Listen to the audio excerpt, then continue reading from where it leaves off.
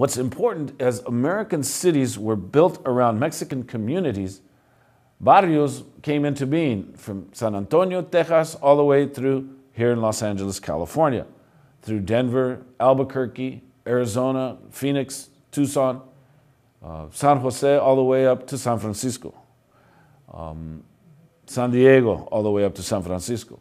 And so what happened is as American cities are going to be built around the American, uh, Mexican communities, a social, psychological, and organizational cohesiveness occurred. Mexican immigrants naturally are going to move into the barrios. Mexican immigrants are going to create their own barrios. An example is Watts and Compton. They were, they were Mexican railroad camps. So when you go into Watts and Compton, the origins of Watts and Compton are when the Mexicans had built the railroads connecting to Los Angeles, they were just dumped, and that became their area uh, to survive. During World War I, when we look, take a look at the great migration of Southern blacks, uh, of the black experience, as the Southern migration occurs, those moving west are going to enter Watts and Compton and be living with the Mexican railroad workers. So, as railroads, agriculture, as railroads, agriculture, and mining interests, along with massive state sponsored irrigation projects, they assured and perpetuated the need for Mexican labor. Many Mexicans found themselves moving to states like Iowa, Nebraska, Illinois, and Michigan, where they created their own enclaves. So, this urban barrio context will be dramatized in the 1920s and 1930s as sociologists became concerned with, quote unquote, the Mexican problem. Let's go to a film clip and appreciate uh, Los Angeles.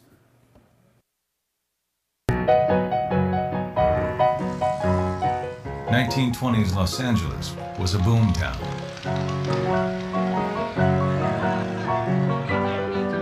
Pulled by plentiful work in agriculture, factories, and construction, Mexican immigrants headed to the city in ever increasing numbers. In 1900, you had about three to 5,000 Mexican, Mexican American residents. By 1930, you had about 150,000. It's a lot of people. In the 1800s, Mexicans had built Los Angeles from a mission into the capital of Spanish California. In the 1920s, they would help build it again. The story of how Mexicans built the city from a rural town to an industrial metropolis is still largely untold. Without the Mexican labor, much of our infrastructure in the city uh, would not exist. Now immigrants in a land that had once been theirs. Mexicans were viewed as second class citizens. The Mexican presents a new problem. He's not black and he's not white. How do we fit this new race into the American uh, system of stratification? That is resolved by just simply extending the practices of segregation that had been developed for African Americans to Mexican Americans. There were segregated schools. There could be segregated public facilities. For example, the day before they drained the pool, they had International Day, where anyone who wasn't white could go and use the pool. Most immigrants gravitated toward downtown and settled around La Plaza de Nuestra Reina de Los Angeles. Founded in 1781, the plaza had once been the center of Mexican life in Southern California. The plaza was a safe place, it was a romantic place, and it was also a memory of their culture. For the immigrant generation that comes, the sense that the land was once held by uh, a Spanish elite, a Mexican elite, is incredibly important in making people feel that there is a history here that belongs to them.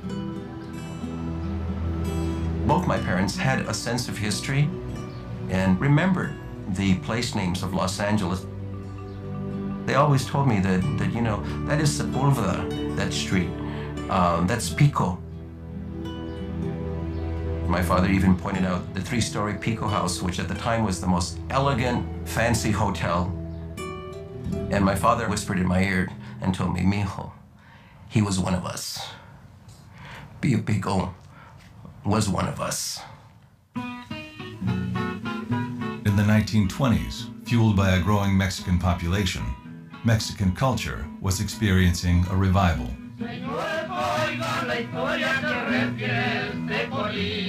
There's a growth of arts.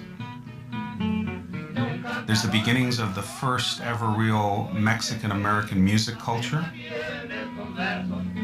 It's recording the music of the Mexican Revolution in Los Angeles. It's exporting it down to Mexico.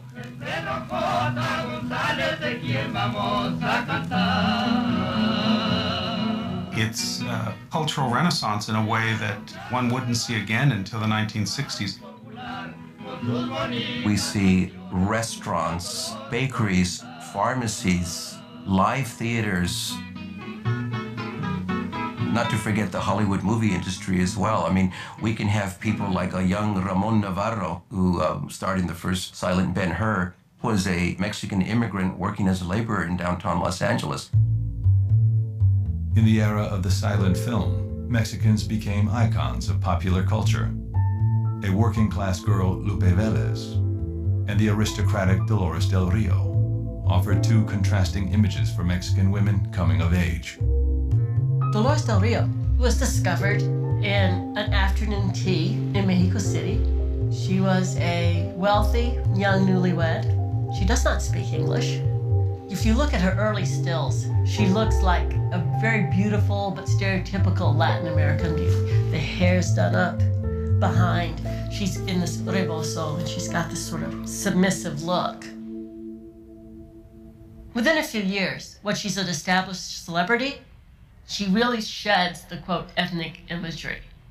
She was able to craft this symbol of the woman on the pedestal, a high-born, sort of Castilian beauty. I think her beauty is incredibly important for a lot of young Mexican women.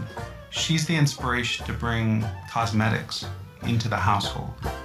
She creates an alternative identity, a new 1920s woman in a Mexican style. They're bobbing their hair, they're wearing short dresses or they're wearing bloomers, ditching their chaperone and going to the dance hall, the movies.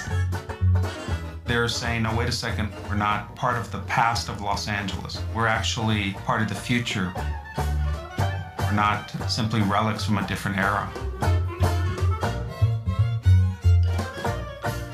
Young Mexicans began to build families and moved east, across the Los Angeles River, to Brooklyn Heights, Belvedere, and Boyle Heights, a diverse community in the mountains of East LA.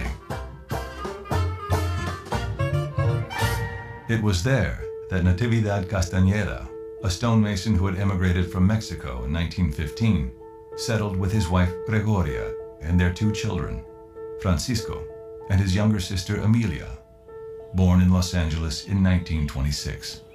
It was a happy life that I had when I was a little girl. I used to like to go to school. We used to have some time to play before school started, before we went to do our Pledge of Allegiance.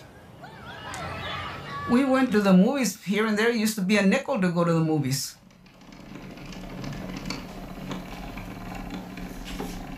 We used to have a Victrola.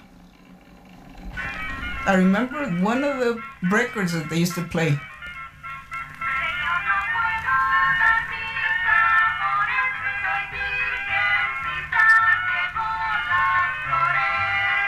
It was a song about Soy virgencita, entre las flores me encontrarás.